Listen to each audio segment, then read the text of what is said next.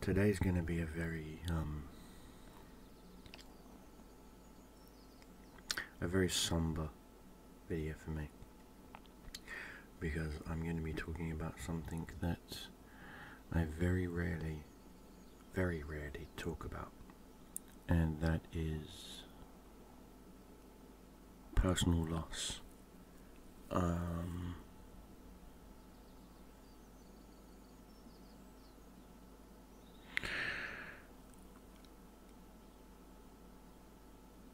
over the weekend, I received not one, not two, but three messages that some of my old squaddies had passed away.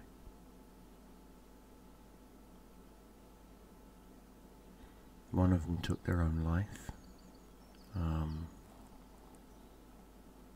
and the other two were just, is what it is, kind of thing. Um,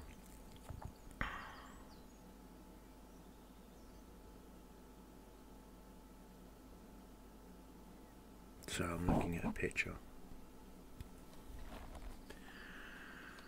of my boys. I call them my boys, but I'm showing a picture. I'm looking at a picture. Uh, It's my wallpaper on my computer.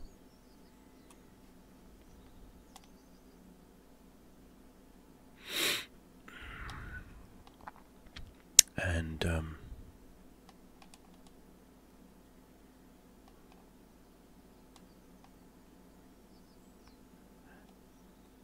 it's had an adverse effect of making me quite uh, emotional.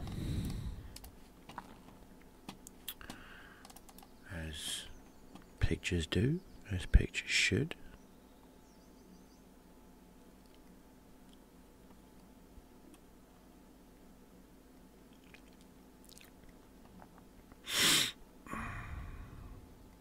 It just. After a while, you become desensitized to the loss. And um,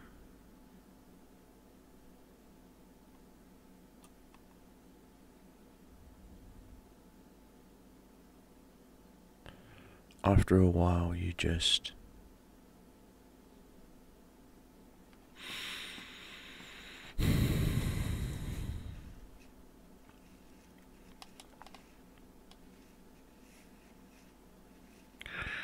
after a while, when the memories fade, you've got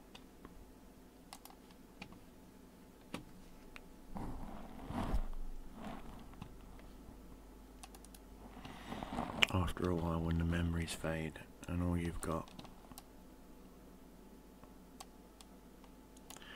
that's me right there. The X is all the people who are not in my unit or not alive anymore.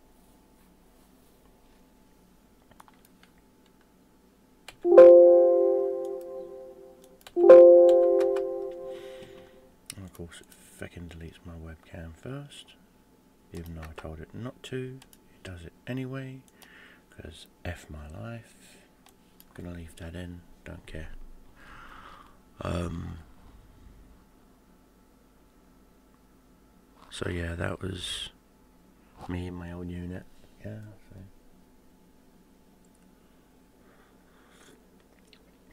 So. Third RTR Raw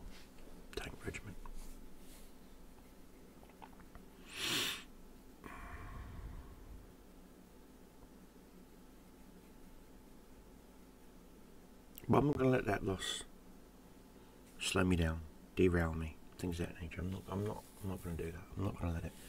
In fact, I'm going to tell you people a fun little fact. And that fun little fact is this no one lives forever. Stop taking things for granted. Stop saying to yourself, Uh, case in point, if your grandma doesn't live with you, or your grandparents don't live with you, or your mum or your dad or your siblings don't live with you, and you say to yourself, I'll see him next week, I'll see him next week, I'll see him next week, I'll see him next week. Eventually, those next weeks are going to run out. And all you're going to have is excuses as to why you never went to go see them. This is why on the 22nd I'm getting a train to Cambridge and I'm going to surprise my mum. That'll be fun. Surprise my mum. That would be fun.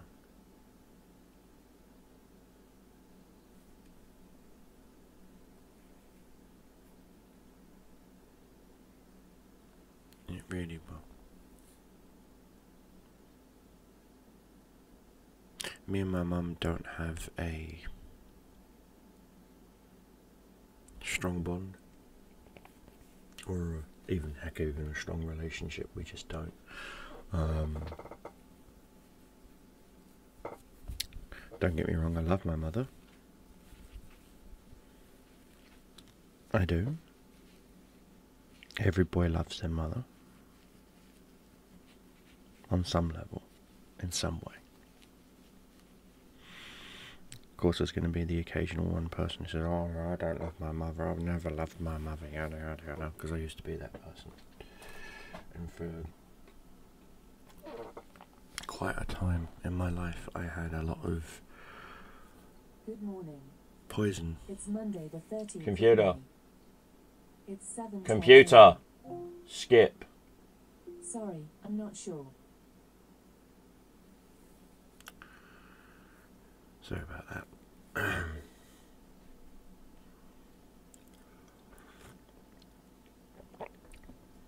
and so, for the longest time, me and my mum never really um, connected, bonded, sort eye to eye on a lot of subjects, a lot of reasons. Um, she thinks it's because my younger brother was born. Um, it goes a lot deeper than that. I'm not ready to unpack that, especially for a YouTube video. No, no, no, no. Um, nowhere near ready to unpack that for a YouTube video. Someone asked me um, on a, YouTube live stream or a Rumble live stream? I can't remember. One of them asked me about the origins of this ring. And where can they uh, find it? You can't find it. Okay, here, I'll leave it there so you can take a screenshot. You cannot find it. This ring is a one-off custom sculpt if you can't tell by the un-asymmetrical to the ring. It's not symmetrical. Most rings are symmetrical. They are, case in point, you go. This ring is symmetrical. The eyes are symmetrical. The jawline, everything is symmetrical. Okay? Symmetrical, asymmetrical, i.e., not symmetrical. The horns are di different size, the cheeks, chin, everything, because it was hand sculpted by a friend of mine. He was no longer here. In fact, it was my ex girlfriend. She sculpted that for me for my 15th birthday. She gave it to me on my 15th birthday. And that was the same birthday that I decided to move out of my mum's house and live life on the streets if need be. It would have been a lot more beneficial for me than to be living in a house with my mother. That's the only background I'm going to give you on that. But her name was Delana. She was an art. I can say major because we was in secondary school, but she enjoyed jewelry, jewelry making. She would make silly things out of like the pop tops of, of coke cans and stuff and whatnot. And I remember this one time she made a small little tiny bouquet of flowers out of the bread twists. and she borrowed a lighter to melt some of the plastic.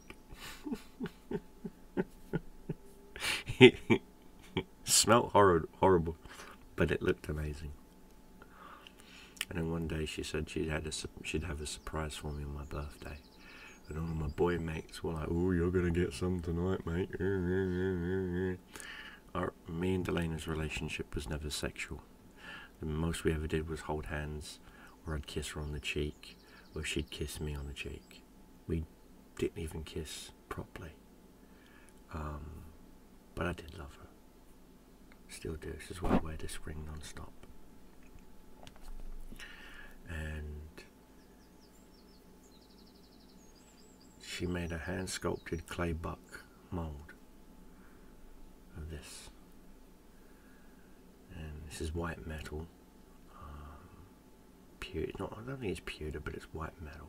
It's a form of white metal that she melted down in art, art, art school, in the art department. She melted it down. She poured it into the mold. It had a horrible stink, but she poured it in the mold. And um, wait for it to cool.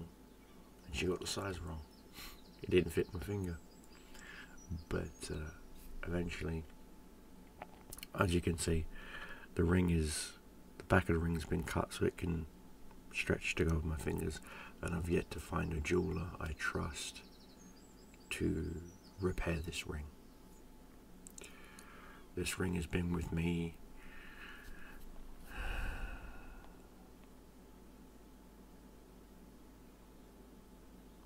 trying to figure out how many continents Iraq, Iran, Afghanistan, South Africa, America, well, England, obviously, um, Japan, Hong Kong.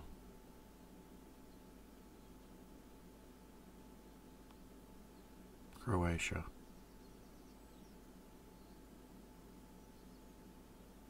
God, I've been a lot of places. Um, the only place I haven't really been is Canada. Um,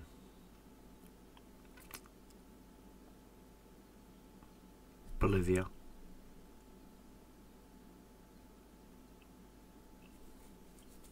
Budapest. So I've been minimum of 10 places with this ring.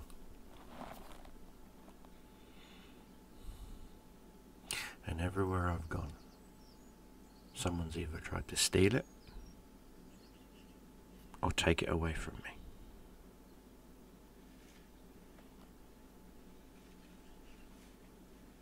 And when I asked Elena why did she make it into a demon face, now bear in mind back then I was a bit gothy, had black fingernail. I still occasionally will put black fingernail polish on, but um, she said we all hide a demon within us. You, Danny. You don't. You put yours on display. You let the world know you're a person not to be fucked around with. You let people know that you are the type of person who does not respond well to idle threats. And most importantly, and this is where she had me, your demon won't allow you to let your friends and your family be hurt. In many ways, your demon is your angel.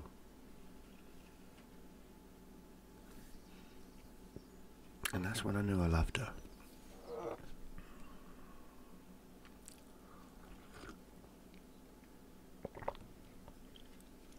And yes, I did tell her that I loved her.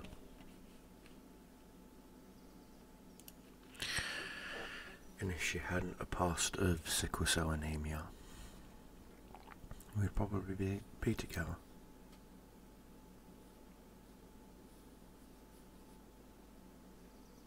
she didn't even make it graduating year, which was the following year, 1996. Her sickle cell anemia got so bad that uh, it took her life.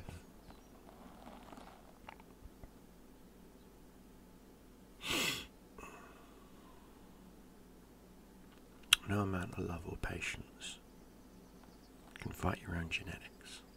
But I want you guys to understand something.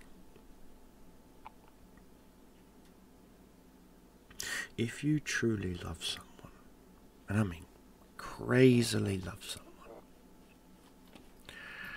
do yourself and the world a favor. Don't fight it. Don't hide it. Don't deny it.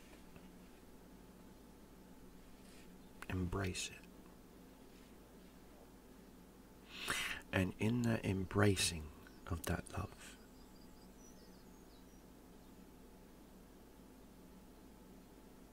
make sure not to let it define you. Because that's what a lot of people fail to understand is letting it define you.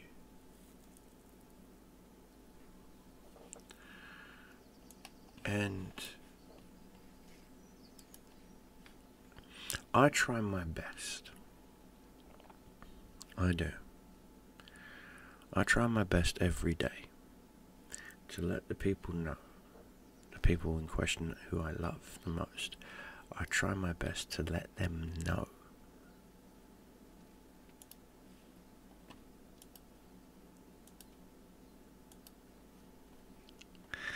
I try my best to let them know how much I love them and what they mean to me.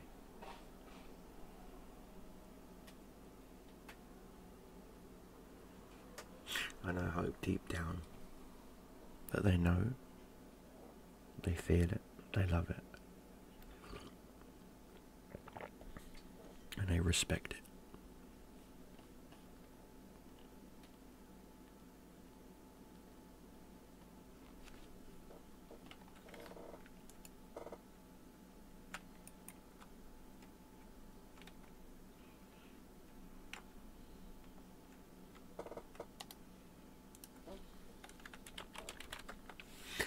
Because at the end of the day,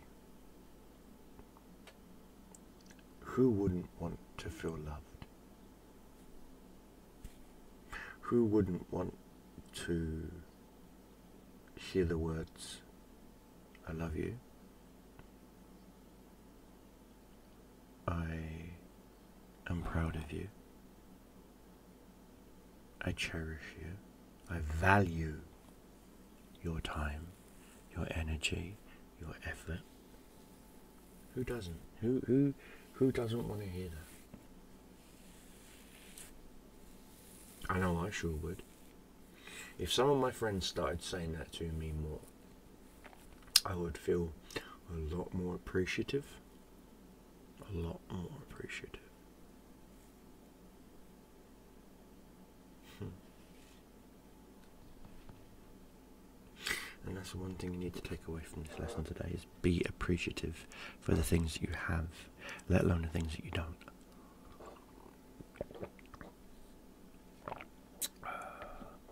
And normally the video would be done when the coffee's done, but I waffled on a little bit and the video's gone for way too long.